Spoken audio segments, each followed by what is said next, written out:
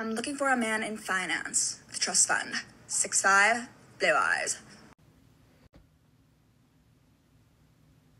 And this is not any of the other qualities you just listed. And I'm not sure if a man that fits that description would even want to be in a relationship with you because you're objectifying him on very basic things. What about his personality, though? What about the things he likes and is passionate about? What about him as a person? You know, person. Not this checkbox thing.